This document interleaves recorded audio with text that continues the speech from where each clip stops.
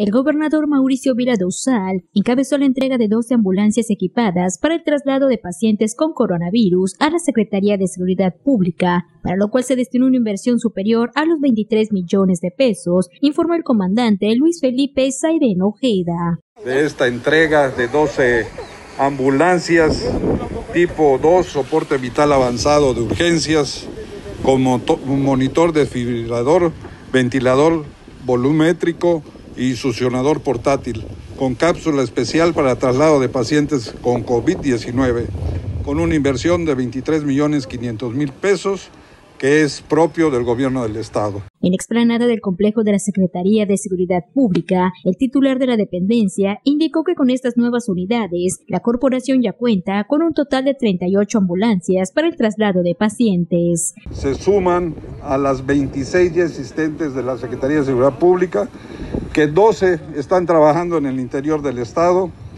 y 14 acá en la ciudad de Mérida.